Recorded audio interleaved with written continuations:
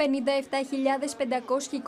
δικαιούχοι αναμένεται να δουν αυξημένες τις συντάξεις χειρίας τους στα τέλη Σεπτεμβρίου μετά την έκδοση υπουργικής απόφασης από το νέο Υπουργό Εργασίας. Όταν μας δίνουν είναι καλό, όταν μας παίρνουν είναι άσχημο για όλο τον κόσμο. Το Υπουργείο έχει θέσει ως προτεραιότητα την αποκατάσταση αυτής της ε, άδικης ε, μεταχείρισης, ακριβώς γιατί τα ποσά, όπως θα είχατε διαπιστώσει και εσείς, ήταν ιδιαίτερως χαμηλά, ενώ τώρα αναμένεται να αυξηθούν ε, αρκετά σημαντικά. Θα αλλάξει ποσοστό αναπλήρωσης και ταυτόχρονα με την κατάργηση του ηλικιακού ορίου, οι συντάξεις θα είναι σημαντικά αυξημένες για τους δικαιούχους. Έχουμε σαρωτικές μεταβολές στο θέμα των συντάξεων, γιατί αφενός μεν έχει καταργηθεί το ηλικιακό όριο των 55 ετών, το οποίο προβλεπόταν.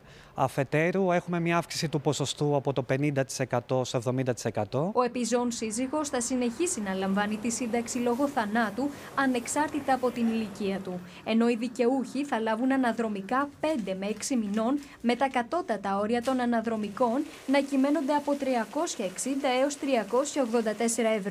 Αν το δώσεις το μέτρο αυτό, είναι καλό για μας τους συνταξιούχους. Αν δεν το δώσει όμως, τι θα γίνει. Οι εργατολόγοι τονίζουν πως αυτή η αναπροσαρμογή αφορά δικαιούχους, των οποίων η αίτηση συνταξιοδότησης χειρίας κατατέθηκε μετά τις 12 Μαου του 2016. Δηλαδή αφορά τους θανάτους ασφαλισμένων ή συνταξιούχων που επήλθαν από αυτή την ημερομηνία και μετά.